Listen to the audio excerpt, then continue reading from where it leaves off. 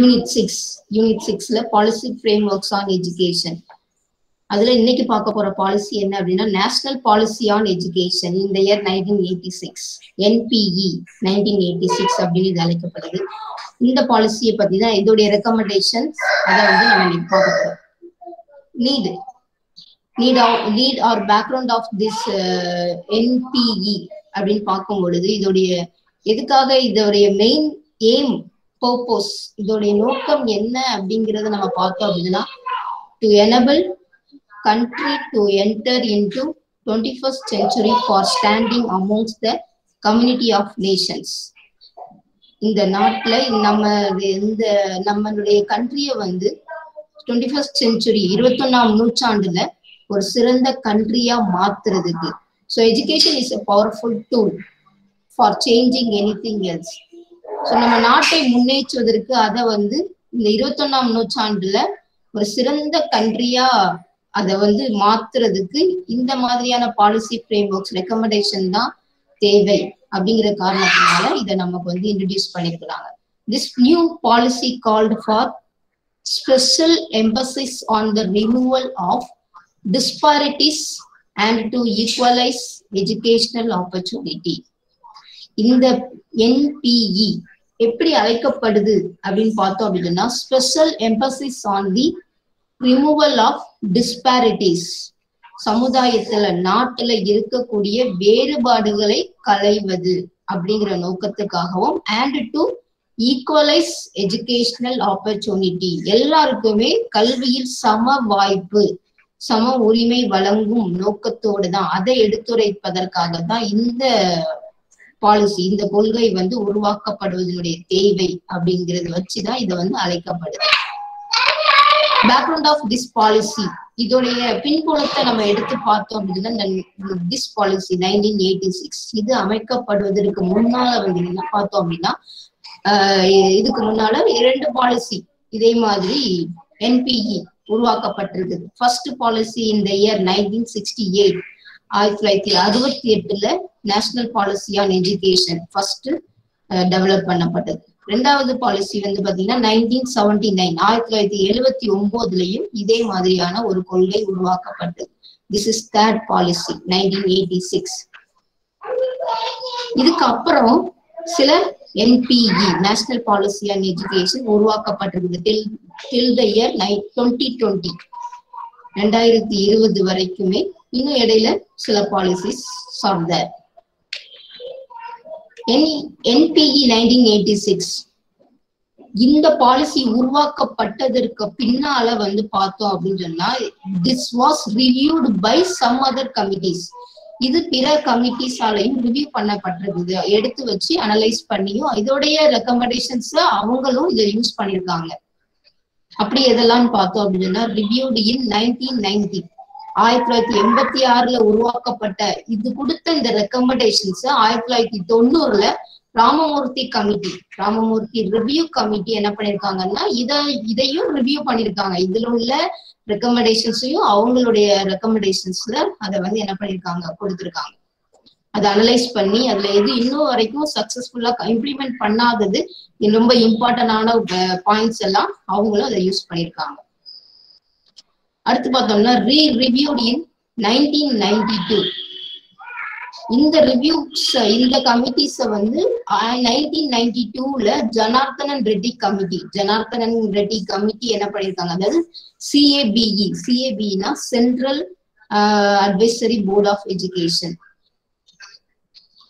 இந்த கமிட்டியும் என்ன பண்ணிருக்காங்க அப்படின்னு சொன்னா இந்த பாலிசியுடைய ரெக்கமெண்டேஷன்ஸ மறுபடியும் ரிவ்யூ பண்ணி அவங்களும் ரெக்கமெண்டேஷன்ஸ் கொடுத்திருக்காங்க.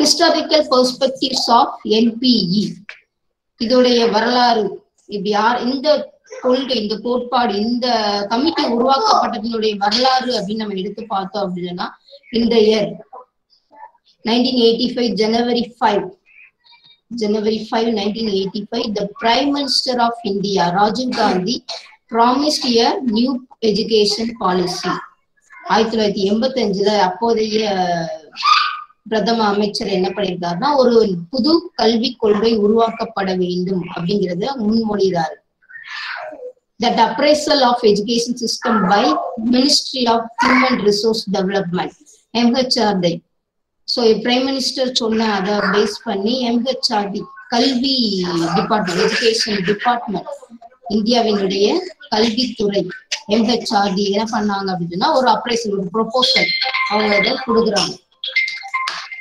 தென் இந்த year of nineteen eighty five August twenty August டுவெண்ட்டில status report challenges of education a policy ஒரு இந்த ஸ்டேட்டஸ் ரிப்போர்ட் ஆயிரத்தி தொள்ளாயிரத்தி எண்பத்தஞ்சுல உள்ள அறிக்கையை அடிப்படையில அறிக்கையையும் வச்சுதான் இந்த இந்த கொள்கை வந்து நமக்கு உருவாக்கப்படுது national policy on education shaping up of NPE NPE இந்த கொள்கை உருவாக்கப்படுவதனுடைய ஏதாவது இந்த கொள்கை என்பிஇ எப்படி ஷேப் உருவாக்கப்பட்டது அப்படின்னு நம்ம பார்த்தோம் அப்படின்னா டாக்குமெண்ட் டிரான்ஸ்லேட்டர் இந்த இந்த கொள்கை இந்த ரெக்கமெண்டேஷன்ஸ் என்ன பண்ணிருக்கிறாங்கன்னா இதை டிரான்ஸ்லேட் பண்ணி எல்லா ரீஜனல் லாங்குவேஜ்லயும் இதை டிரான்ஸ்லேட் பண்ணி எல்லாருக்குமே அது புரியுற மொழிகள்ல வழங்கப்பட்டு வழங்கப்பட்டு தான் இது உருவாக்கப்பட்டது. பாலிசி டிபேட்டட் இதை நல்லா நிறைய டிபேட் விவாதங்களுக்கு கொண்டு வந்து அவங்களுடைய முடிவுகளையும் இதுல சேர்த்து இணைத்துதான் இந்த கொள்கை உருவாக்கப்பட்டிருக்கு. ரெக்கமெண்டேஷன்ஸ் அனலைஸ்ட் இந்த என்இபி என்பிஇ கொண்டு வந்த பரிந்துரைகள் எல்லாத்தையும் அனலைஸ் பண்ணி ஆராய்ந்து தான் இந்த கொள்கைகள் நடைமுறைக்கு கொண்டு வரப்பட்டது.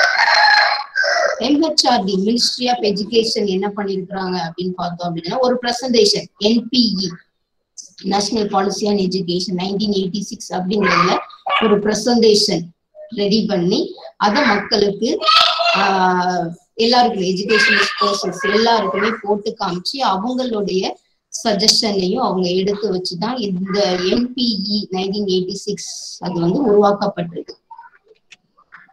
பேப்பர் டிஸ்கஸ்டு பை இதுல உள்ள அந்த பார்ட்ஸ் பேராகிராஃப் கொஸ்டின்ஸ் அந்த இருக்கக்கூடிய அந்த ஒவ்வொரு பாயிண்ட்ஸும் யாருல யாரும் யார்கிட்ட எல்லாம் இது வந்து டிஸ்கஷனுக்கு அனுப்பப்பட்டு அதனுடைய சஜஷன் எல்லாம் எ- எது கேட்கப்பட்டிருக்குது அப்படின்னு பார்த்தோம் அப்படின்னா ஸ்டேட் மினிஸ்டர்ஸ் ஆஃப் எஜுகேஷன் நாட்டுல உள்ள அனைத்து மாநில கல்வியல் துறைகளுக்கும் அனுப்பப்பட்டு அவங்களுடைய சஜஷனையும் இவங்க கேட்டிருக்காங்க. நேஷனல் டெவலப்மெண்ட் கவுன்சில் தேசிய வளர்ச்சி குழுல central advisory board of education அங்க இந்த மாதிரி எல்லா இடங்கள்லயும் இது கலந்துரையாடப்பட்டு தான் அவங்களுடைய சஜஷன் எல்லாம் உள்ள இன்க்ளூட் பண்ணி மாடிஃபை பண்ணி இந்த என்பிஇ கொள்கை வந்து நடைமுறைக்கு கொண்டு வரப்பட்டது. This policy first was announced அதாவது இது ஒரு வரைவு கொள்கை. இது வந்து நடைமுறைக்கு நாட்டுல தே நடைமுறைக்கு கொண்டு வரப்படுவதற்கு முன்னால என்ன பண்ணிருக்காங்க அப்படின்னா பார்லிமெண்ட்ல இதோடைய டிராஃப்ட் காப்பி அதாவது ரஃப் காப்பியை வந்து இவங்க வெளியிடுறாங்க. மே நைன்டீன் எயிட்டி சிக்ஸ்ல இதை கொடுக்குறாங்க. மே செவன்த் செவன்த் வந்து லோக்சபால இத பத்தி விவாதிக்கப்படுகிறது. இந்த என்பிஇ உடைய கொள்கைகள். மே தேர்ட்டீன் மே தேர்ட்டீன் ராஜ்யசபால இதோடைய கொள்கைகள் வந்து விவாதிக்கப்படுகிறது. சோ இதுங்கிற ஒவ்வொரு ஸ்டெப் பார்லிமெண்ட்ல வந்து ஒவ்வொரு சபைக்கும் வந்து அதோடைய அவங்களுடைய ஒப்புதலின் பேரில் தான் இது வந்து என்ன ஆகுதுன்னா அடுத்தது நாட்டுல நடைமுறைக்கு வருகிறது. இந்த என்பிஇ என்பிஇல எத்தனை பார்ட்ஸ் அதோட எவ்வளவு அதாவது நிறைய ஒரு பன்னெண்டு ப பகுதிகளாக பிரிக்கப்பட்டு நூத்தி ஐம்பத்தி ஏழு பேராகிராஃப்ஸா உள்ள இன்க்ளூட் பண்ணி இந்த அறிக்கை வந்து வெளியிடப்படுகிறது. என்இ என்பிஇல வந்து பார்த்தோம்னா பன்னிரெண்டு பகுதிகள் நூத்தி ஐம்பத்தி ஏழு பேராகிராஃப்ஸ் இது வந்து கொடுக்கப்பட்டிருக்கிறது. அது என்னென்ன பார்ட்ஸ் என்ன subject and number of paragraphs அப்படின்னு பார்த்தோம் அப்படின்னா first para first part that is introductory introductory number of paragraphs is 15 second part the essence and role of education four paragraphs third partல வந்து பார்த்தோம்னா national system of education 13 parts fourth partல வந்து பார்த்தோம்னா education for equality அதுல பதிமூணு paragraphs அதுல இருக்குது fifth part reorganisation of education at different stages இதுல ஃபார்ட்டி டூ பார்ட்ஸ் இருக்குது இதுதான் நம்பர் ஆஃப் அதிகமான பகுதிகள் அடங்கிய ஒரு பகுதி. Reorganisation of education at different stages sixth part வந்து பார்த்தோம்னா டெக்னிக்கல் அண்ட் மேனேஜ்மெண்ட் எஜுகேஷன் இதுல டுவெண்ட்டி பார்ட்ஸ் இருக்குது. Seventh part making the system work three paragraphs eighth பார்ட்ல பார்த்தோம்னா reorienting the content and process of education அதில் twenty five paragraphs ninth part வந்து the teacher டீச்சரை பற்றி அதில் சிக்ஸ் பார்ட்ஸ் இருக்கு. டென்த் பார்ட்ல வந்து த மேனேஜ்மெண்ட் ஆஃப் எஜுகேஷன் இதுல nine paragraphs resource and review ninth part பார்த்தோம்னா ரிசோர்ஸ் அண்ட் ரிவ்யூ அதில் ஃபைவ் பேராகிராஃப்ஸ் லாஸ்ட் டுவெல்த் பார்ட்ல த ஃபியூச்சர் அதுல டூ பேராகிராஃப்ஸ் ஸோ இந்த மாதிரி பனிரெண்டு பகுதிகளாக பிரிச்சு அதுல பேராகிராஃப்ஸ் நிறைய பேராகிராஃப்ஸ் கொடுத்து இந்த கொள்கையினுடைய அறிக்கை ரிப்போர்ட்ஸ் வந்து வெளியிடப்படுகிறது. ஸோ இந்த ரெக்கமெண்டேஷன்ஸ் ஒவ்வொரு பார்ட்டா நம்ம பார்க்கும்போது இந்த இன்ட்ரெக்ஷன் பார்ட்ல என்ன சொல்லியிருக்கிறாங்க அப்படின்னு பார்த்தோம்னா catalytic action of education process catalytic action of education process இதுல என்ன சொல்றாங்க எதை பத்தி சொல்லியிருக்கிறாங்க அப்படின்னு பார்த்தோம்னா needs to be plan meticulously needs to be plan meticulously so நமக்கு என்ன தேவையோ எஜுகேஷனுடைய ப்ராசஸ் டெவலப்மெண்ட் அதை செயல்படுத்துவதற்கு என்ன தேவையோ அதை நல்லா ஒரு மிக நுணுக்கமாக திட்டமிடப்பட வேண்டும். திட்டமிட்டு அந்த தேவைகள் பூர்த்தி செய்யப்பட வேண்டும் அப்படின்னு சொல்றாங்க. எக்ஸிக்யூட்டட் வித் கிரேட் சென்சிட்டிவிட்டி அதை எப்படி செயல்படுத்தணும் அப்படின்னு பார்த்தோம்னா சென்சிட்டிவிட்டி கிரேட் சென்சிட்டிவிட்டியுடன் நம்ம பிளான் பண்ணி திட்டமிட்டு கொடுத்த அந்த அந்த கொள்கைகளை வந்து சிறப்பாக செயல்படுத்தப்பட வேண்டும். ஸோ பிளான் பண்ணி கொடுத்தா மட்டும் போதாது அந்த எக்ஸிக்யூட்டிவ்லையும் அதோடைய வெற்றி அடங்கி இருக்குது second part the essence and role of education essence and role of education இதுல வந்து என்ன எதை பத்திலாம் அறிக்கைகள் இருக்கு அப்படின்னு பார்த்தோம்னா ஆல்ரவுண்ட் டெவலப்மெண்ட் அந்த மாணவர்களுடைய முழு வளர்ச்சி அடங்கி இருக்கணும் acculturation role acculturation role man power development unique investment so மனித வளங்களை பயன்படுத்துவது அனைவரையும் பங்கேற்க வைப்பது. யூனிக் இன்வெஸ்ட்மெண்ட் ஒவ்வொருத்தரையும் ஒரு ஒவ்வொரு தனித்தனி விஷயங்கள் ஒரே கான்செப்ட்ல ஒரே விஷயத்துல இன்வெஸ்ட்மெண்ட் அப்படிங்கிறது இல்லாம ஒவ்வொரு எல்லாரையுமே யூனிக்கான வெவ்வேறு விதங்கள்ல அவங்க இன்வெஸ்ட்மெண்ட் பண்ண வைக்கிறது அப்படிங்கிறது தான் செகண்ட் பார்ட் தேர்ட் பார்ட் எடுத்துட்டோம்னா national system of education national system of எஜுகேஷன்ல என்ன சொல்றாங்க அப்படின்னா அதுல லெவன் கேட்டகரிஸ் நிறைய ஆஸ்பெக்ட்ல discuss பண்ணிருக்கிறாங்க. Common structure education common structure so Kothari commission suggest பண்ணல அதே காமன் ஸ்ட்ரக்சரை தான் இவங்களுமே. நாடு முழுவதும் அதே மாதிரி same structure will be implement அப்படிங்கறத சொல்லியிருக்கிறாங்க. நேஷனல் கரிக்குலர் ஃப்ரேம் ஒர்க் தேசம் முழுவதும் ஒரே மாதிரியான கலைத்திட்டம் நிறுவப்பட வேண்டும். ஒவ்வொரு ஸ்டேட்டுக்கு வைத்த மாதிரி இல்லாம national wide national level same curriculum will be frame minimum level of education ஒவ்வொரு இண்டிவிஜுவல் பர்சனுடைய மினிமம் லெவல் என்னங்கிறத ஃபிக்ஸ் பண்றது. அப் டு ஃபோர்டீன் இயர்ஸா பாட் ஸோ அந்த மினிமம் லெவல் அவங்க கண்டிப்பா ஒரு பேசிக் லெவல்ல எல்லாருமே கல்வி பெற்றிருக்க வேண்டும் அப்படிங்கிறத சொல்றாங்க. லைஃப் லாங் எஜுகேஷன் ஸோ யாரு கடை அவங்க விரும்புற அளவுக்கு எந்த அளவுக்கு அவங்க போ படிக்க விரும்புறாங்களோ அந்த லெவல் அவங்க படிக்கிறதுக்கான ஃபெசிலிட்டிஸ் லைஃப் லாங் எஜுகேஷன் படிச்சுக்கிட்டே வேலை பார்க்கறதுக்கு அவங்க கடைசியில் அவங்களுடைய அவங்களுடைய லைஃப் எண்டு வரைக்கும் அவங்க படிக்க விரும்புறாங்க அப்படின்னா என்னனாலும் படிக்கிறதுக்கான ஃபெசிலிட்டிஸ் என்ன பாடப்பிரிவுகளை எப்பொழுதுனாலும் படிக்கிறதுக்கான ஃபெசிலிட்டிஸ் ஈக்குவல் ஆப்பர்ச்சுனிட்டிஸ் ஜெண்டர் வைஸோ அல்லது ரேஸ் ஒரு கம்யூனிட்டி வைஸோ இல்லாம ஏழை பணக்காரர் அந்த மாதிரி எந்த வேறுபாடும் இல்லாம யாருனாலும் எந்த பாடப்பிரிவுகளையும் எடுத்து படிப்பதற்கான வாய்ப்புகள். Then cultural and social system கலாச்சார சமூக அமைப்பு link and regional language research and development national support inter regional mobility institution of national importance so இந்த மாதிரி தேசத்தினுடைய கல்வி அமைப்பு முறைகளை பற்றி மூன்றாவது பகுதி வந்து ரெக்கமெண்டேஷன்ஸ் நிறைய கொடுத்திருக்காங்க தென் ஃபோர்த் பார்ட் நாலாவது பிரிவு என்ன சொல்லுதுன்னு பார்த்தோம்னா education for equality equality among SC ST BC educational backward areas and section handicapped women minorities so இந்த மாதிரியான எந்த யாருக்குமே ஆஹ் டிஸ்பாரிட்டிஸ் இல்லாம ஈக்குவல் ஆப்பர்ச்சுனிட்டி டு எஜுகேஷன் அப்படிங்கிறதான் ஜாதி மதம் இனம் மொழி வேறுபாடு உடல் ஹேண்டிகாப்டு இவங்க ஹேண்டிகாப்டு அந்த நார்மல் பர்சன் அப்படின்னு இல்லாம ஜெண்டர் வைஸ் பெண்களுக்கு தனியா ஆண்களுக்கு தனியா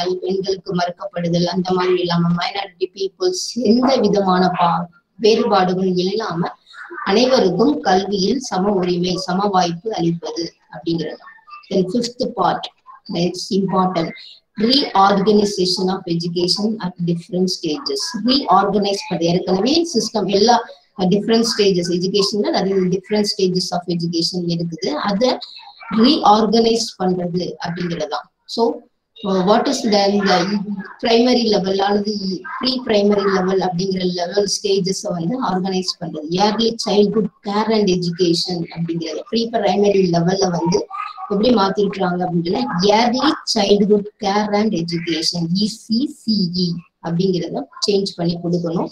Elementary education secondary education higher education including non formal education then vocationalisation last open university and distance learning இந்த மாதிரி ஸ்டேஜஸ் ஆஃப் பிரிச்சு அதை ரீஆர்கனைஸ் பண்ணணும் அப்படிங்கிறது தான் அவங்களுடைய ரெக்கமெண்டேஷன் தென் சிக்ஸ்த் பார்ட் பார்த்தோம்னா technical and management education technical and management education role of role definition technical management எஜுகேஷனா first அதை பத்தின ஒரு வரையறை டெஃபினிஷன் கொடுக்கணும் அதுக்கு ஒரு டெஃபினிஷன் கொடுத்துருக்குறாங்க. வாட் இஸ் த டெக்னிக்கல் எஜுகேஷனா என்ன? மேனேஜ்மெண்ட் எஜுகேஷனா என்ன அப்படிங்கிறது. Changing environment planning and programming so நம்மளுடைய கண்ட்ரியோட என்விரான்மெண்ட்டுக்கு ஏற்ற மாதிரி what kind of technical and management will be implement என்ன மாதிரியான டெக்னிக்கலை நம்ம கொடுக்க முடியும்? அதுக்கு நமக்கு ஃபெசிலிட்டிஸ் இருக்கா? ரிசோர்சஸ் இருக்குதா? அப்படிங்கிறது. தட் பிளானிங் அண்ட் ப்ரோக்ராம் அதை திட்டமிட்டு செயல்படுத்துவதற்கான வழிமுறைகளை சொல்லியிருக்காங்க. இன்ஸ்டியூஷனல் ட்ரஸ்ட் இன்ஸ்டியூஷனுக்கு இருக்கக்கூடிய வளங்கள் என்னலாம் வாட் ஆர் ட்ரஸ்ட் அதுக்கு இருக்கக்கூடிய சேலஞ்சஸ் எதெல்லாம்? Innovation research and development IRD research and டெவலப்மெண்ட்ல என்ன இன்னோவேஷன் நம்ம இம்ப்ளிமெண்ட் பண்ண முடியும்? Promoting efficiency and effectiveness at all levels Promoting efficiency and effectiveness at all levels எல்லா நிலைகளிலும் all kind of all stages of education அதுலயும் நல்ல எஃபிஷியன்சியும் எஃபெக்டிவ்னஸையும் நம்ம ப்ரமோட் பண்றது. அதை என்ரிச்மெண்ட் பண்றது. ஸோ டீச்சிங் அண்ட் லேர்னிங் லெவல்ல ஒரு எஃபெக்டிவான விஷயங்களை நம்ம என்ன பண்றது? ப்ரொமோட் பண்ணி வெறும் தியரிட்டிக்கலா இல்லாம practical knowledge skill based competency based education கொடுக்கணும் அப்படிங்கிறது டு ப்ரொமோட் எக்ஸலன்ஸ் சிறப்பான இவைகளை செய்வதற்கு அதை கற்றுக்கொள்வதற்கு நம்ம என்ன பண்ணணும்? செயல்படுத்துவது. Management function to cope with change management function to cope with change ஒரு விஷயம் மாற்றப்பட வேண்டும் என்றால் நம்ம என்ன பண்ணணும் அப்படின்னா நம்மளுடைய செயல்பாடுகளை மாற்ற வேண்டும். ஸோ ஒரு புதுமையான ஒரு இன்னோவேஷனை நம்ம இம்ப்ளிமெண்ட் பண்றோம் ஒரு மாற்றத்தை விரும்புறோம் அப்படின்னு சொன்னா நம்மளுடைய செயல்முறைகளை மாற்றி அமைக்க வேண்டும் அப்படிங்க so management function to cope with change அந்த மாற்றத்தை நோக்கி நம்முடைய செயல்முறைகள் அமையப்பட வேண்டும் அப்படின்னு ரெக்கமெண்டேஷன் கொடுத்திருக்காங்க. தென் பார்ட் செவன் செவன்த் பார்ட்ல என்ன சொல்றாங்கன்னா making the system work making the system work systematic work என்ன செய்யணும் என்ன எப்படி செய்யணும் அப்படிங்கிறத பத்தி சொல்லியிருக்கிறாங்க teachers greater accountability teachers greater accountability so இந்த இதுல வந்துதான் நம்ம இந்த ரெஸ்பான்சிபிலிட்டி அப்படிங்கறதை தாண்டி வரக்கூடிய ஒரு ஆஸ்பெக்ட் தான் இந்த accountability teachers greater accountability so என்னுடைய ஆசிரியருடைய பொறுப்போ என்ன அப்படின்னா கிளாஸ் ரூமுக்கு வந்தோம் கிளாஸ் எடுத்தோம் அப்படிங்கிறது இல்லாம அந்த ஸ்டூடெண்ட்ஸோடைய ஆல்ரவுண்ட் டெவலப்மெண்ட்டுக்கு அந்த ஆசிரியர் முழு பொறுப்பு அப்படிங்கிறது தான் ஸோ அதுக்கு என்ன கைண்ட் ஆஃப் ஆக்டிவிட்டிஸ் எல்லாம் கொடுக்கணும் அந்த ஸ்டூடெண்ட்ஸ்க்கு அவங்கள பார்ட்டிசிபேட் பண்ண வைக்கிறது அப்படிங்கிற எல்லா விஷயத்துல அந்த ஆசிரியர் தான் முழு பொறுப்பு அப்படிங்கிறது தான் அவங்க சஜஸ்ட் பண்ணியிருக்காங்க. Improve student services improve student services மாணவர்களை செய்ய வைக்கிறது செயல்பட வைக்கிறது அப்படிங்கிறது தான் ஸோ இது எல்லா விஷயங்களையும் காதுல கேட்டு கண்ணுல பார்த்துட்டு அப்படி போற விஷயம் கிடையாது. இந்த மாணவர்களை வந்து உள்வாங்கி அவங்கள வந்து செய்ய வைக்கிறது சர்வீஸ் பணியாற்ற வைப்பது அப்படிங்கிறதாம் the shoot of the should of facilities to institution அந்த கல்வியல் நிறுவனத்திற்கு என்னென்ன வளங்கள் தேவையோ அதை எல்லாத்தையும் அமைத்து கொடுப்பது ஏற்படுத்தி கொடுப்பது.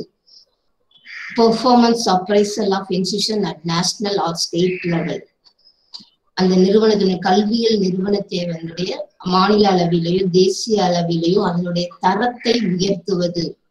பெர்ஃபார்மன்ஸ் அப்ரைசல்னா அவங்களுடைய செயல்பாடுகளை வந்து இன்னும் அதிகரித்து அவங்களுடைய தரம் குவாலிட்டி அதை வந்து இம்ப்ரூவ் பண்றது இன்க்ரீஸ் பண்றது அப்படிங்கிறதான் ஸோ அவங்க வந்து எல்லாருக்கும் ஒரு ஆக்டிவிட்டி நம்ம கொடுத்தோம். அவங்களை வந்து எஜுகேஷனல் சர்வீஸ் நம்ம பண்றோம் அப்படிங்கிறது கிடையாது. ஸோ அதுல எந்த லெவலுக்கு பெர்ஃபார்மன்ஸ் எப்படி இருக்குது? Best quality of education input எப்படி கொடுக்குறோம்? அதுதான் தட் இஸ் அதை வந்து வழக்கமாக்குறது. ஸோ ஒரு இயர் ஒரு ஒரு இயர்க்காக மட்டும் அப்படின்னு இல்லாம எவ்ரி இயர் அதை கண்டினியூஸ் கண்டினியூஸா ஃபாலோ பண்றது. ஒரு ப்ரோக்ராம் ஒரு ஆக்ஷன் நல்லா இருக்குது அப்படின்னு ஒரு வருஷத்துக்கு ஒரு ஒரு ஒரு டைம் மட்டும் இம்ப்ளிமெண்ட் பண்றது கிடையாது. கண்டினியூஸ் இயர் ஒவ்வொரு வருடங்களும் அது தொடர்ந்து செய்யறது தான் அவங்களுக்கு best performance appraisal performance appraisal அப்படிங்கிறது கண்டினியூஸா three five years ten years வரைக்கும் அது தொடர்ந்து செய்யறது அப்படிங்கிறது தான். அது எல்லாமே அது அதை கண்டினியூ பண்றதுக்கு நம்ம என்ன பண்ணணும்? Will give motivate and encourage them appreciate them then eighth part reorienting the content and process of education. Reorienting the content and process of education. ஒரு கான்செப்டை வந்து நம்ம என்ன பண்ணணும்? அதை புரிய வைக்கிறதுக்கு நம்ம நிறைய ஸ்டெப் எடுக்கணும். நிறைய விளக்கங்கள் அவேர்னஸ் ஆட்டிடியூட் இன்ட்ரெஸ்ட் அவங்க கிட்ட டெவலப் பண்ணணும். எல்லா ஆஸ்பெக்ட்லயுமே ஸோ அப்படி வந்து என்ன என்ன பாயிண்ட்ஸ் எல்லாம் பத்தி ரெக்கமெண்டேஷன் கொடுக்குறாங்கன்னு பார்த்தோம்னா அந்த கல்ச்சுரல் பெர்ஸ்பெக்டிவ் கான்செப்டை வந்து கல்ச்சுரல் கல்ச்சுரல் மூலமாக கலை பண்பாடுகள் மூலமாக நம்ம என்ன பண்ணலாம்? கொடுக்கலாம். வேல்யூ எஜுகேஷன் வேல்யூஸ் மூலமா லாங்குவேஜஸ் மூலமா books and libraries media and educational technology work experience education and environment population education mathematics teaching science education sports and physical education yoga role of youth the evaluation process and the examination reform. Concept வந்து வெறும் ஒரே ஒரு மெத்தடில் அப்படின்னு இல்லாம பல்வேறு முறைகள்ல பல்வேறு வழிகள் மூலமாக பல ஸ்ட்ராட்டஜிஸ் அப்ளை பண்றது மூலமா நம்ம கொடுக்கலாம். அது எது எது மூலமான இந்த பண்பாடுகள் மதிப்புகள் மொழிகள் பாட புத்தகங்கள் தாண்டி லைப்ரரி புக்ஸ் மீடியா டெக்னாலஜி மூலமா ஒர்க் எக்ஸ்பீரியன்ஸ் மாணவர்களுக்கு பணி அனுபவங்கள் கொடுக்கறது மூலமாக education and classroom environment மூலமா population education mathematics science education sports and physical இது எல்லாத்து மூலமாகவும் எக்ஸாம் அண்ட் எவலுவேஷன் மூலமாகவும் நம்ம என்ன பண்ணலாம்னா கான்செப்டை வி ஹேவ் இம்ப்ளிமெண்ட் அதை ரீஓரியன்ட் பண்ணணும். ஓரியன்ட் ரீஓரியன்டிங் அப்படின்னா திரும்ப திரும்ப இதை கொடுப்பதன் மூலமாக பல்வேறு வழிகள்ல இதை கொடுக்கறது மூலமாக நம்மளுடைய கான்செப்ட நம்ம என்ன பண்ணலாம் டீச் பண்ணலாம். இந்த டீச்சர் ஆசிரியரை பத்தியும் ஆசிரியர் கல்வியை பத்தி என்ன ரெக்கமெண்டேஷன்ஸ் கொடுக்குறாங்க அப்படின்னு பார்த்தோம் அப்படின்னா methods of recruiting teachers will be reorganise to ensure merit and objectivity ஆசிரியர்களை நியமிக்கும் பொழுது அவங்க தகுதி உடையவர்களாக ஒரு பள்ளியில் ஒரு ஆசிரியரை நியமிக்கிறோம் அப்படின்னா அந்த நியமன முறை வில் பி ரீஆர்கனைஸ்ட் என்ன முறையில அதை வந்து இது வரைக்கும் நியமிக்கப்பட்டதும் அதை வந்து ரீஆர்கனைஸ் பண்ணணும். தட் இஸ் மெரிட்டோரியஸ் நல்லா படிச்சு தகுதியுள்ள திறமையுள்ள அந்த பணிக்கு பொருத்தம் உள்ள ஆசிரியர்களை மட்டும் நியமிக்கப்பட வேண்டும் அப்படின்னு சொல்றாங்க. Code of professional ethics for teachers CBE professional எத்திக்ஸ்னு இருக்கு. டீச்சர்ஸ்க்குன்னு சில எத்திக்ஸ் இருக்கு. ப்ரொஃபஷனல் எத்திக்ஸ் அதை அந்த ஆசிரியர்கள்கிட்ட இருக்குதா அப்படிங்கிறத பார்க்கணும். தே ஆர் ஃபாலோயிங் அதை பத்தின நாலேஜ் இருக்கா? அவேர்னஸ் இருக்கா? அது ஆட்டிடியூட் இருக்கா? அதை அவங்க அப்ளை பண்றாங்களா? அதை ஃபாலோ பண்றாங்களா? அந்த மாதிரியான ஆசிரியர்கள் நியமிக்கப்பட வேண்டும். அப்கிரேடிங் டீச்சர் ட்ரைனிங் காலேஜஸ் ஆசிரியர் பயிற்சி கல்லூரிகளை வந்து தரத்தை நிலையை உயர்த்தணும். நிறைய காலேஜஸ் நிறுவப்பட வேண்டும். அதனுடைய தரத்தை உயர்த்தணும். அப்பதான் தரமான ஆசிரியர்கள் உருவாக்கப்படுவார்கள் அப்படின்னு சொல்றாங்க. ஆசிரியர் கல்வியை பொறுத்த வரைக்கும் overhauling of system of education ஆசிரியர் கல்வியினுடைய சிஸ்டம் அந்த முறைகள் வந்து சீரமைக்கப்பட வேண்டும். மாற்றி அமைக்கப்பட வேண்டும். DIET district institute of education and training to be establish DIET ஆசிரியர் பயிற்சி நிறுவனங்கள் நிறுவப்பட வேண்டும். ஸோ பிளஸ் டூ முடிச்சுட்டு வந்து செகண்ட் கிரேட் டீச்சர் ட்ரைனிங் டீச்சர்லா ஒர்க் பண்ணக்கூடிய அந்த டீச்சர்ஸ்க்குன்னு தனியா கல்வி நிறுவனங்கள் நிறுவப்பட வேண்டும். அப்படின்னு சொன்னாங்க. அந்த கல்வி அந்த கல்வி நிறுவனங்களை மேற்பார்வை செய்வதற்கு ஒரு ஆர்கனைசேஷன் இந்த மாதிரியான ஆர்கனைசேஷன் நிறுவப்பட வேண்டும். Networking between university departments and teacher education institution to be establish university டிபார்ட்மெண்ட்ஸுக்கும் education இன்ஸ்டியூஷனுக்கும் இடையில ஒரு பாலம். ரெண்டு பேருக்கும் தொடர்பு இருக்க வேணும் அப்படின்னு சொல்லியிருக்காங்க. எஜுகேஷன் டீச்சர் எஜுகேஷன் இன்ஸ்டிடியூஷன்ல இருந்து வெளியே வரக்கூடிய ஆசிரியர்கள் தான் நாளைக்கு கல்லூரியிலையும் பல்கலைக்கழகத்திலையும் வேலை செய்ய போறாங்க. சோ அப்போ அதுக்கு என்ன தேவை? என்ன மாதிரியான செயல்முறைகள் இருக்கு செயல்பாடுகள் இருக்குது? என்ன மாதிரியான தகுதி திறமைகளை அந்த ஆசிரியர்கள் படிக்கும் பொழுதே வளர்த்து கொள்ளணும் அப்படின்னு தெரியணும்னா அந்த ரெண்டுக்கும் இடையில ஒரு தொடர்பு ஒரு நெட்ஒர்க்கிங் ஒரு ரிலேஷன்ஷிப் இருக்கணும் அப்படிங்கறத ஏற்படுத்தி கொடுக்கணும் அப்படிங்கிறது இவங்களோட recommendation the management ninth tenth part the management of education மேலாண்மை கல்வியை பத்தி என்ன சொல்றாங்க? National level state level Indian education service district and local level voluntary agencies and the aided institution redress of grievances இந்த மாதிரியான முறைகள்ல இந்த மேலாண்மை கல்வி வந்து நிறுவப்பட வேண்டும். மேலாண்மை கல்வி நிறுவனத்தை நிறுவி அந்த நிறுவனம் சிறந்த முறையில செயல்படுவதற்கு தேவையானதுதான் இந்த நிறுவன கல்வி அப்படிங்கிறது மேலாண்மை. அதுக்கு நம்ம என்னெல்லாம் பண்ணணும்? அது வந்து ஒரு வாலண்டரி ஏஜென்சிஸா கூட நம்ம இருக்கலாம். எந்த ஒரு நிறுவனமா இது அது எய்டட் இன்ஸ்டியூஷனா இருக்கலாம் கவர்மெண்ட் இன்ஸ்டியூஷனா இருக்கலாம் பிரைவேட் இன்ஸ்டியூஷனா இருக்கலாம். இந்த நிறுவனமா இருந்தாலும் அதோட அதுக்கு இந்த management process is most important அது நிர்வாகம் செய்யறதுக்கு நிர்வாக கல்வி வந்து அவசியம் அப்படின்னு சொல்லி அதுக்கான ரெக்கமெண்டேஷன்ஸ் கொடுத்திருக்கிறாங்க.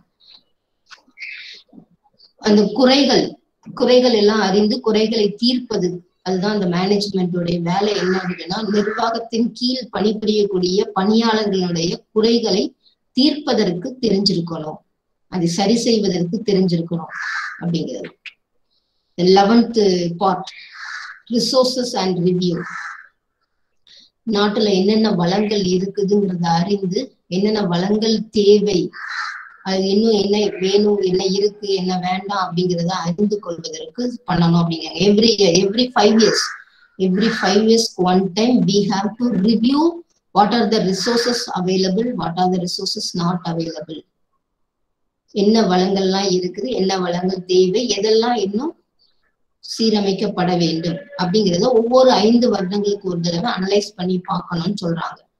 அப்படி என்னென்ன சோர்சஸ் அப்படின்னு பார்த்தோம்னா mobilisation of donation mobilisation of donation ஒரு நிறுவனம் நிறுவப்படணும் அப்படின்னு சொன்னா இப்போ மோஸ்ட்லி இப்ப ரீசெண்ட்ல இருக்கக்கூடிய ஒரு விஷயம் என்ன அப்படின்னு சொன்னா எல்லா நிறுவனங்களுக்கும் எல்லா நம்ம நேஷனல் லெவல்ல பார்க்கும்போது கல்வியல் நிறுவனங்கள் அனைத்துக்கும் இந்த வளங்கள் அப்படிங்கிறது போதுமானதா இல்லை. அரசால எல்லாத்துடைய வளங்கள் எல்லா நிறுவனங்களுக்கும் போதுமான வளங்களை அது பினான்சியலா இருந்தாலும் சொல்லி வாட் கைண்ட் ஆஃப் ரிசோர்சஸ் அதை ஏற்படுத்தி கொடுக்க முடியல. அப்ப என்ன இப்ப என்ன ஃபாலோ என்ன மாதிரி இதை ஃபாலோ பண்றாங்க அப்படின்னு பார்த்தா அந்தந்த நிறுவனங்கள் அவங்களுக்கு தேவையான அந்தந்த கல்வியல் நிறுவனங்கள் அவங்களுக்கு தேவையான வளங்களை அவங்களே ரேஸ் பண்ணிக்கலாம். அவங்களே ரேஸ் பண்ணிக்கலாம்னா என்ன ஆஸ்பெக்ட்ல எல்லாம் உங்களுடைய வளங்களை நீங்க உயர்த்தி கொள்வீங்களோ உயர்த்தி கொள்ளலாம் அப்படின்னு சொல்லியிருக்காங்க. அது பினான்சியலா இருந்தாலும் ஹியூமன் ரிசோர்ஸா இருந்தாலும் சரி டெக்னிக்கல் ரிசோர்சஸா இருந்தாலும் சரி வாட் ஆர் த ஃபெசிலிட்டிஸ் என்ன ஃபெசிலிட்டிஸ் எது வேணுமோ அதை நீங்களே உங்களுக்கு தேவையான ஃபண்டை நீங்களே ரேஸ் பண்ணிக்கோங்க. உங்களுடைய வளங்களை நீங்களே ஃபுல்ஃபில் பண்ணிக்கோங்க. அப்படின்னு இருக்காங்க ஸோ மொபிலைசேஷன் ஆஃப் டொனேஷன் அவங்களுக்கு என்ன இப்போ எந்த வளங்கள் எங்க அவங்களுடைய வளங்களை உயர்த்தி கொள்வதற்கு தேவையான ஆதாரங்களை அவங்களே பெருக்கிக் கொள்ளலாம். அதை உயர்த்தி கொள்ளலாம். யார்கிட்டனாலும் எங்கனாலும் அதை பெற்றுக் கொள்ளலாம் அப்படிங்கிறது தான் savings from efficient use of resources இதுல மிக முக்கியமான ஒண்ணு என்ன அப்படின்னா ஆஹ் ஒரு ஒரு நிறுவனத்துல ஒரு வளம் இருக்குது. ஒரு வளம் சொல்றது நான் இப்போ ஒரு டெக்னாலஜிக்கல் ரிசோர்சஸை எடுத்துக்கிடும். டெக்னாலஜிக்கல் ரிசோர்ஸை வந்து நான் சிறப்பாக பயன்படுத்தினேன் அப்படின்னு சொன்னா என்னால ஃபைவ் டு டென் இயர்ஸ் வரைக்கும் அதை கொண்டு போகலாம் சேஃபா நான் சிறப்பாக அதை பயன்படுத்தலைன்னா ஒன் ஆர் டூ இயர்ஸ்லயே அது அவுட் ஆயிடும் அப்ப புதுசுதான் வாங்கணும். So savings from efficient use of resources ஐந்து பத்து வருடங்களுக்கு நான் அதை சேஃபா சிறப்பாக பயன்படுத்தினேன் அப்படின்னா என்னால பத்து பதினஞ்சு வருடங்கள் எத்தனை வருடங்களாலும் அதை கொண்டு போகலாம். தட் இஸ் எஃபிசியன்ட் யூஸ் பயன்படுத்தாம அப்படியே போட்டு ரிப்பேர் பண்றதுக்கும் பயன்படுத்தி சிறப்பாக பயன்படுத்தி அதை வந்து ஐந்து வருடங்கள் நல்லா கொண்டு போனோம்னா that is will be source அதுதான் சிறந்த ஒரு ஆதாரம். Motivation of organisation of research ஆராய்வு செய்வதற்கு. அந்த ஆர்கனைசேஷன் மோட்டிவேட் பண்ணணும். நிறைய ஆராய்ச்சி பண்ணுங்க. நிறைய கண்டுபிடிங்க. நிறைய படைங்க. நிறைய புதுசா உருவாக்குங்க. இன்னோவேட்டிவ் ப்ராக்டிசஸ் என்னெல்லாம் கண்டுபிடிங்க. அது நிறைய ஒப்பீனியன் சர்வே மாதிரியோ ஒரு ஃபீல்டு ரிசர்ச் மாதிரியோ எக்ஸ்பெரிமெண்டல் ரிசர்ச் மாதிரியோ பண்ணி நிறைய விஷயங்களை கொடுங்க அப்படிங்கிறாங்க. யூஸ் மணி ஃபார் ஃபெசிலிட்டிஸ் பணங்களை நிறைய வளங்கள் வளங்களை உருவாக்குவதற்கு பயன்படுத்துங்க. Raising fee in higher education system higher education சிஸ்டத்தினுடைய அந்த ஃபண்ட் ஃபீ ஃபீயை ரைஸ் பண்ணுங்கன்னு சொல்றாங்க. அவங்களோட படிக்கக்கூடிய கட்டணத்தை உயர்த்த வேண்டும் அப்படின்னு சொல்றாங்க ஹையர் எஜுகேஷன் சிஸ்டத்துல இதுதான் இப்போ அதிகமா நடந்துட்டு இருக்கு. இப்போ அதிகமா என்ன பண்றாங்கன்னா ஒரு ஃபார் எக்ஸாம்பிள் ஒரு ஐடி கார்டு ப்ரிப்பரேஷனுக்கு வந்து ஒவ்வொரு நிறுவனமும் மூணால இருபத்தஞ்சு ரூபா. ஒரு ஃபைவ் இயர்ஸ்க்கு முன்னால இருபத்தஞ்சு ரூபா வாங்கினாங்க. ஸோ அதுவே ஒரு நூறு ரூபான்னு ஆச்சு. அப்புறம் two fifty that is the normal fee இந்த டுவெண்ட்டி டுவெண்ட்டில டுவெண்ட்டி பார்த்தோம் அப்படின்னா நார்மலான ஒரு நான் இப்போ எக்ஸாம்பிளுக்கு ஒன்று சொல்றேன். ஐடி கார்டு ப்ரிப்பேர் ஐடி கார்டுக்கு மாணவர்கள்ட்ட இருந்து up to two hundred two fifty வரைக்கும் வேணா வாங்கலாம். பட் ஆனா அந்த ரேசிங் இப்போ கவர்மெண்ட் என்ன பண்ணிருக்கு சொல்லியிருக்காங்கன்னா உங்க ஃபண்டை நீங்களே ரேஸ் பண்ணிக்கோங்க என்னென்ன ஆஸ்பெக்ட்ல மாணவர்கள்ட்ட இருந்து நீங்க ஃபண்டை வாங்கிக்க முடியுமோ வாங்கி உங்களுடைய வளங்களை நீங்களே பூர்த்தி செய்துக்கோங்க. கவர்மெண்டால எல்லா ஃபண்டையும் கொடுக்க முடியாது அப்படிங்கும்போது அந்த அந்த சுமைகள் எங்க எல்லாத்துக்கும் மாணவர்கள்கிட்ட தான் போகுது. ஸோ நார்மலா ஒரு ஐடி ஒரு எக்ஸாம்பிளுக்கு சொல்றோம் ஒரு ஐடி கார்டுக்கு நம்ம டூ ஹண்ட்ரட் டூ ஃபிஃப்டி இந்த மாணவர்கிட்ட வசூலிக்கலாம் அப்படின்னா இந்த நிறுவனங்கள் என்ன பண்றாங்கன்னா டபுளா அவங்க கிட்ட இருந்து கலெக்ட் பண்றாங்க. ஃபைவ் ஹண்ட்ரட் நிறைய பிரைவேட் இன்ஸ்டிடியூஷன்ஸ்ல எல்லாம் என்ன பண்றாங்க? பிரைவேட் மேனேஜ்மெண்ட்ஸ் கல் கல்லூரிகள் பல்கலைக்கழகங்கள்லாம் என்ன பண்றாங்கன்னா இந்த டபுள் அவங்களுடைய அமௌண்ட் ஏற்கனவே அவங்க கவர்மெண்ட்டும் அதுக்கான சப்போர்ட் கொடுக்குறாங்க அப்படின்னு சொல்லும்போது ஃபைவ் ஹண்ட்ரட் வரைக்கும் அவங்க கிட்ட அமௌண்ட்டை கலெக்ட் பண்றாங்க. ஸோ இந்த மாதிரி தான் வளங்கள் அந்த நிறுவனங்களுக்கு வழங்கப்படுது.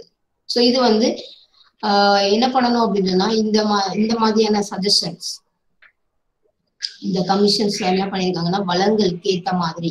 என்னென்ன வளங்கள்லாம் அப்ப இருக்குது அதை எப்படி பயன்படுத்தலாம் எப்படி அதை இன்னும் அடுத்த ஐந்து வருடங்களுக்கு கொண்டு போறதுக்கு என்ன செய்யலாம்? They're giving the recommendations the last twelfth part the future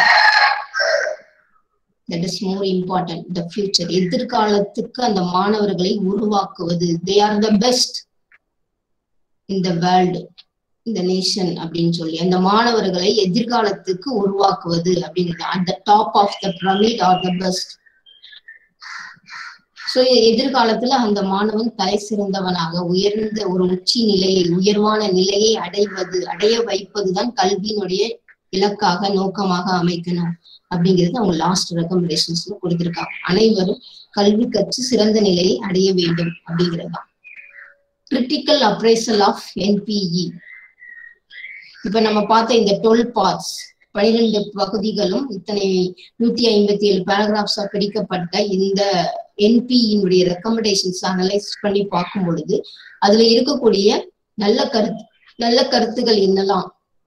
அப்படின்னு ஃபேவரபிள் பாயிண்ட்ஸ் சரியாக ஏற்றுக்கொள்ளக்கூடிய கருத்துகள் என்னெல்லாம் அப்படின்னு நம்ம பார்த்தோம் அப்படின்னா human development through education human development மனித வளர்ச்சி மனித வளங்களை பெருக்குவது through education common structure of education நாடு முழுவதும் ஒரே மாதிரியான கல்வி அமைப்பு முறை. Higher values of life life values soft skill value value educations அதை கொடுக்கணும் அப்படின்னு சொன்னது. Link development with national unity link development with national unity தேசம் முழுவதும் ஒற்றுமை. ஒற்றுமையாக இருந்தாதான் நேஷனல் டெவலப்மெண்ட் சோ அதுக்கும் இதுக்கும் தொடர்பு இருக்கு. நேசத்தினுடைய வளர்ச்சி தேசத்தினுடைய வளர்ச்சி தேசிய ஒற்றுமையில தான் இருக்கு அப்படிங்கறத சொல்லியிருக்காங்க. Fairness of admission by NTS அட்மிஷன்ல எல்லாருக்கும் சமமான உரிமைகள் கொடுக்கணும். சமமான வாய்ப்புகள் கொடுக்கணும். அதுல வந்து எந்த விதமான பாகுபாடுகளும் இருக்கக்கூடாது பிரிவுகள் இருக்கக்கூடாது அப்படிங்கிறதுதான். ஈக்குவாலிட்டி ஆஃப் எஜுகேஷனல் ஆப்பர்ச்சுனிட்டி சம வாய்ப்பு சம உரிமைகள் கொடுக்கணும். Minimum essential facilities in primary schools primary ஸ்கூல்ல குறைந்தபட்சம் என்ன வசதி வாய்ப்புகள்லாம் இருக்கணுமோ அதெல்லாம் ஏற்படுத்தி கொடுக்கணும். Space setting schools space setting schools ஒரு கல் ஒரு பள்ளி பள்ளியில எவ்வளவு இடங்கள் இடவசதிகள் இருக்கணும் ஒவ்வொரு ஆசிரியர்கள் மாணவர்கள் அமர்ந்து அவங்களுக்கு படிப்பதற்கு தேவையான அந்த என்விரான்மெண்ட் அந்த ஃபெசிலிட்டிஸ் பள்ளி அந்த அமைப்பு எப்படி இருக்கணும் அது அப்படின்னு சொன்னது. வொகேஷனல் அண்ட் டெக்னிக்கல் எஜுகேஷன் தேசிய தொழில்நுட்ப கல்வியின் பற்றிய பரிந்துரைகள் delinking jobs from degrees delinking jobs from degrees டிகிரியோட இல்லாம இந்த தொழில் இப்ப நான் வந்து ஒரு பிஏ ஹிஸ்டரி படிச்சுட்டு இருக்கேன். அதோட சேர்ந்து ஒரு ஜாப் ஒரு தொழில நான் படிப்பதற்கு எனக்கு என்ன தேவையோ அந்த தொழிலுக்குரிய தகுதி திறமைகளை வளர்த்து கொள்வதுதான் டீலிங்கிங் ஜாப்ஸ் ஒரு டிகிரி உங்க ஸ்கூல்ல ஒண்ணு படிக்காங்க அல்லது காலேஜ்ல ஒண்ணு படிச்சுட்டு இருக்காங்கன்னு வச்சுக்கோங்க. அது வந்து நான் பிஏ படிக்கிறது வந்து எந்த ஒரு தொழிலுக்கும் பிஏ ஹிஸ்டரி படிக்கிறது எந்த ஒரு தொழிலுக்கும் எனக்கு சூட்டபிள் ஆகாது. பட் ஆனா ஒரு தொழிலுக்கு என்ன தேவையோ அதை கற்றுக் கொடுப்பது. அந்த தகுதி திறமையை உருவாக்குறது delinking jobs from degrees new programmes for higher education higher education லெவல்ல புது புதிய பாட பிரிவுகள் பாடங்கள் ப்ரோக்ராம்ஸ் நிறைய கோர்சஸ் வில் பி எமர்ஜ் நிறைய உருவாக்கப்படணும் அப்படின்னு சொல்லியிருக்காங்க. Reorienting orienting content and process of education establishment of DIETs requirement of teachers on merit basics management of education at different levels union state district and local level these are the favourable points favourable பாயிண்ட்ஸ்னா இந்த என்பியில இருந்து நம்ம எடுத்துக்க எடுத்துக்க வேண்டிய சிறந்த recommendations சிறந்த ஒரு சிறந்த ஒரு சென்டென்ஸ் ஸ்டேட்மெண்ட்ஸ் இதெல்லாமே நம்ம நல்ல ஒரு பாசிட்டிவான ஒரு ஆஸ்பெக்ட்ல அட்வான்டேஜஸ் அப்படின்னு கூட நம்ம சொல்லலாம்.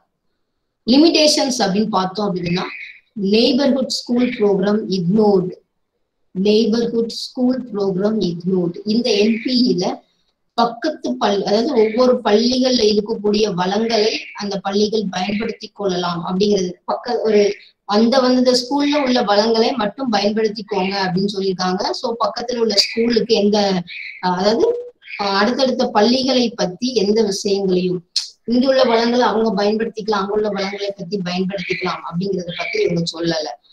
Reservation of SC ST casually mention அதாவது அந்த இந்த எஸ்சி எஸ்டி பிரிவினர்களுக்கு அந்தந்த கோட்டாஸ் கட்டாயம் வழங்கப்பட வேண்டும் அப்படிங்கிறது ரிசர்வேஷன் இவங்க பத்தி சொல்லியிருக்காங்க. அது ஒரு லிமிடேஷன்ஸா இவங்க அந்த ஆனா ஈக்குவல் ஆப்பர்ச்சுனிட்டி அப்படின்னு கொடுத்துருக்காங்க. பட் இந்த ரிசர்வேஷன் அப்படிங்கறத அவங்க மென்ஷன் பண்ணிருக்கிறதுனால அது ஒரு லிமிடேஷன்ஸ் அப்படிங்கிறாங்க. Roles of authorities not mention யாருக்கு அதிகமான பவர் அத்தாரிட்டிஸ் இருக்குங்கிறத இவங்க மென்ஷன் பண்ணலை. ஃபினான்சியல் மேட்டர்ஸ் வேக் ஃபினான்சியலை பத்தி பார்த்தோம்னா கிளியரா இல்ல. நிறைய விஷயங்களை அப்படி கொடுத்திருக்காங்க அப்படிங்கிற ஒரு ஒரு limitations targets in reformed not fixed targets in reforms not fixed என்ன இதுல ம- சீரமைக்கப்பட வேண்டும்? எது மாற்றப்பட வேண்டும்? அப்படிங்கிற அந்த ரிஃபார்மேஷன்ஸ்ல வந்து கரெக்டா தெளிவா சொல்லல அப்படின்னு இருக்காங்க. Private sector nothing mention private செக்டரை பத்தி எதுவுமே இது வந்து சொல்லல.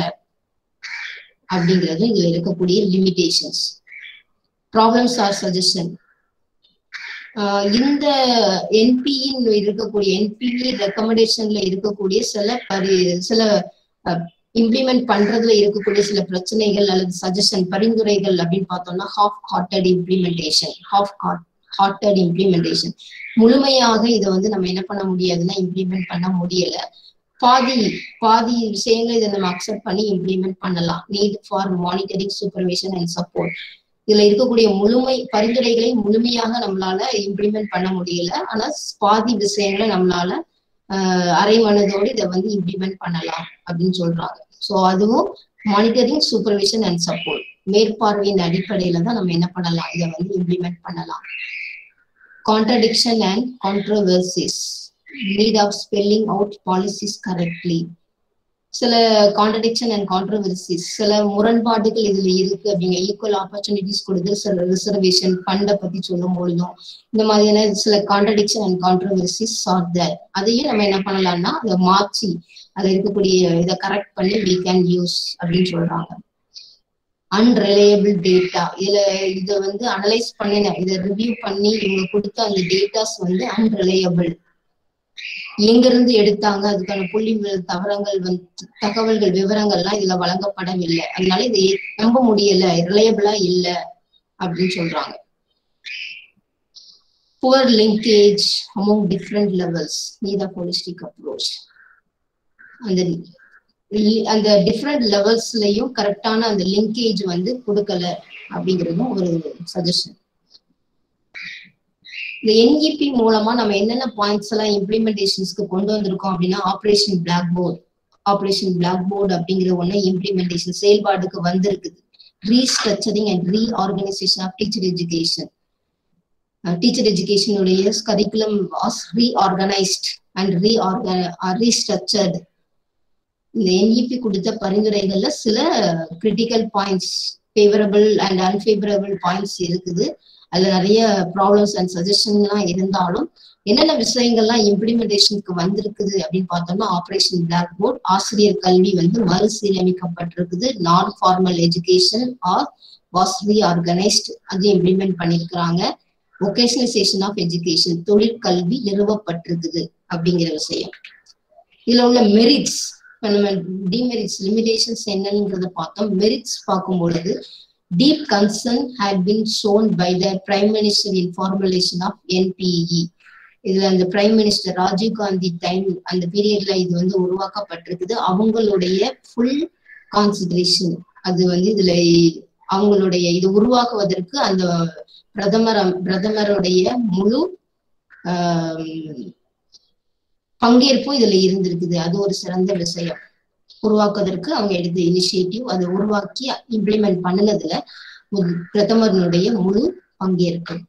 National wide debate was conducted இந்த என்இபி பத்தி தேசம் முழுவதும் ஒரு டிபேட் ஒரு கலந்துரையாடல் ஒரு விவாதத்தின் அடிப்படையில தான் இது வந்து உருவாக்கப்பட்டிருக்குது மூணாவது பார்த்தோம்னா இந்த programme of action was check out programme of action அப்படிங்கிறது இந்த ரெக்கமெண்டேஷன் அடிப்படையில என்னென்ன செயல்பாடுகள் எல்லாம் கொடுக்கணும் அப்படிங்கிறது எல்லாமே உருவாக்கப்பட்டிருக்கு இந்த பன்னிரண்டு பகுதியில் அடி பகுதிகளாக நூத்தி ஐம்பத்தி ஏழு பிரிவுகளாக பிரிக்கப்பட்டு இது வழங்கப்பட்ட இந்த பரிந்துரைகளை என்ன பண்ணிருக்காங்கன்னா இம்ப்ளிமெண்ட் பண்றதுக்கு இதை வந்து செயல்படுத்துவதற்கு என்ன பிளான் அப்படிங்கிறதும் இதை கொடுத்திருக்காங்க. MHRD was renamed ministry of education அதுக்கு முன்னால தேசத்துக்கும் எஜுகேஷன் டிபார்ட்மெண்ட் கல்வித்துறை அப்படின்னு இருக்கிறது. மினிஸ்ட்ரி ஆஃப் எஜுகேஷன் அப்படின்னு இருந்த அந்த கல்வித்துறையினுடைய பெயர் வந்து ரீநேம் பண்ணிருக்காங்க அதுதான் MHRD ministry of human resource development human resource development ஹெச்ஆர்டின்னு மாறிச்சு. மினிஸ்ட்ரி ஆஃப் எஜுகேஷன் அப்படிங்கிறது ஹெச்ஆர்டின்னு மாறிச்சு. அப்புறம் எம்ஹெச்ஆர்டி அப்படின்னு தற்போதைக்கு இது மாறி மாறப்பட்டிருக்குது ஸோ அது இதோடைய merits ministry of education was renamed ministry of HRD human resource development அப்படின்னு மாறிச்சு சலியன் ஃபீச்சர்ஸ் அப்படின்னு பார்த்தோம் அப்படின்னா important role of education national system of education education for equality reorganisation of education at different levels making the system work பன்னிரெண்டு பகுதிகளாக பிரிச்சதுல ஐந்து பகுதிகள் ஐந்து பிரிவுகள் வந்து மிக முக்கியமான விஷயங்களாக நம்ம எடுத்துக்கலாம். என்இபியினுடைய மிக சிறந்த பரிந்துரைகளாக இந்த ஐந்து விஷயங்களை நம்ம சொல்லலாம். இம்பார்ட்டன்ட் ரோல் ஆஃப் எஜுகேஷன் கல்விக்குடைய மிக முக்கியமான பங்கு கல்வியினுடைய மிக முக்கியமான பங்கு என்ன அப்படின்னு கொடுத்தாங்க recommendation national system of education ஒரே மாதிரியான ஸ்ட்ரக்சர் ஆஃப் எஜுகேஷன் சிஸ்டம் அதை வலியுறுத்தியது எஜுகேஷன் ஃபார் ஈக்குவாலிட்டி அனைவருக்கும் கல்வியிலே சம உரிமை சம வாய்ப்பு அப்படின்னு சொன்னது reorganisation at different level levels of education அதை ரீஆர்கனைஸ் பண்ணின விஷயம் making the system work systematic work கல்வியே வந்து ஒரு சிறந்த ஒரு முறைப்படுத்திய விஷயம் அப்படின்னு சொன்னோம்னா அது எல்லாமே சிறந்தது அப்படின்னு நம்ம சொல்லலாம். Conclude the points NPE is best policy for the development of education. NPE is the best policy. கல்வியினுடைய வளர்ச்சிக்கு இது சிறந்த கொள்கை ஒரு கொள்கை அப்படின்னு நம்ம சொல்லலாம் especially for SC ST handicapped backward minorities and women இவங்க எல்லாருக்குமே ஏன்னா இது ஈக்குவல் ஆப்பர்ச்சுனிட்டி சம உரிமை வாய்ப்பு அங்க எல்லாருக்கும் வாங்கி கொடுத்துருக்குது அதனால இது ஒரு சிறந்த கொள்கை Indian government introduced it, uh, it for the development of nation. They got success on large extent. இந்திய அரசாங்கம் இதை அறிமுகப்படுத்தியதுனால கல்வியில இது கல்வியின் மூலமாக இந்த நாடு பல முன்னேற்றங்களை அடைந்ததற்கு காரணமாக அமைந்தது அப்படின்னு சொல்லலாம் people come closer by the help of education மக்கள் அனைவரும் கல்விக்கு உதவி செய்வதற்காக கல்வியின் மூலமாக நாட்டை வளர்ப்பதற்கு நாட்டை உயர்த்துவதற்கு அனைவரும் ஒன்றிணைந்தனர் Now, just because of this policy, India's education system is the third largest system among all nations. எல்லா நாடுகளையும் விட இது இந்தியா வந்து மூன்றாவது மிகப்பெரிய ஒரு நாடு இந்த system of education third largest system எஜுகே இந்தியாவினுடைய கல்வி முறை கல்வி அமைப்பு வந்து பார்த்தோம்னா மூன்றாவது நிலையில இது இருக்குது. எல்லா நேஷன்ஸ் எல்லா நாடுகளையும் விட இது மூன்றாவது மிகப்பெரிய கல்வி கல்வி நிலை அப்படின்னு கூட நம்ம இதை சொல்லலாம். அந்த அளவுக்கு கல்வியில மிகப்பெரிய மாற்றங்களை ஏற்படுத்துவதற்கு காரணமாக அமைந்தது இந்த என்பிஇ இந்தியாவினுடைய கல்வியினுடைய தரத்தை நிலையை தேசம் முழுவதும் உயர்த்துவதற்கு ஒரு அடிக்கல்லாக ஒரு டேர்னிங் பாயிண்டா ஒரு மைல்ஸ்டோனா அமைஞ்சது இந்த என்பிஇ தான் அப்படின்னு நம்ம சொல்லலாம். ஓகே ஸோ நம்ம இன்னைக்கு பார்த்தது national policy on education nineteen eighty six புரிஞ்சிருக்கும் அப்படின்னு நினைக்கிறேன். If you have any suggestion doubt regarding this you can ask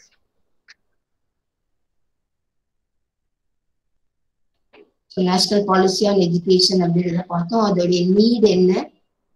உருவாக்கப்பட்டதனுடைய காரணம் பேக்ரவுண்ட் தென் இதை இதை வந்து யாரெல்லாம் அதுக்கப்புறம் பயன்படுத்தியிருக்காங்க ரிவ்யூ பண்ணியிருக்கிறாங்க இதோடைய historical perspective shaping up of NPE இது எப்படி உருவாக்கப்பட்டது? எப்படி இதோடைய வெளி நம்ம நாட்டில் இம்ப்ளிமெண்ட் பண்ணப்பட்டது? அதில் இருக்கக்கூடிய கண்டென்ட்ஸ் என்பியில் இருக்கக்கூடிய கண்டென்ட்ஸ் எத்தனை? இதெல்லாம் அது ஒவ்வொரு பார்ட்டா நம்ம வந்து என்னென்ன பாயிண்ட்ஸ் அதுல கொடுத்துருக்காங்க என்ன ரெக்கமெண்டேஷன்ஸ் கொடுத்துருக்காங்க அப்படிங்கறது நம்ம பார்த்தோம். Critical appraisal favourable points unfavourable points தான் நம்ம பார்த்தோம். இந்த என்பியை பத்தி நாடு முழுவதும் இருக்கக்கூடிய சிறந்த விஷயங்கள் என்னெல்லாம் லிமிடேஷன்ஸ் என்ன என்னுடைய ப்ராப்ளம் சஜஷன் ப்ராப்ளம் என்னென்ன பிரச்சனைகள் இது ஃபேஸ் பண்ணிச்சு அதுக்கான சஜஷன் என்ன இம்ப்ளிமெண்டேஷன் இதை எப்படி என்னென்ன விஷயங்கள் எல்லாம் நாட்டில் செயல்படுத்தப்பட்டது? இம்ப்ளிமெண்டேஷன்னா அதை செயல்படுத்திய விஷயங்கள் என்னெல்லாம்? இதோடைய மெரிட்ஸ் என்ன? அப்படிங்கறத நம்ம பார்த்தோம்.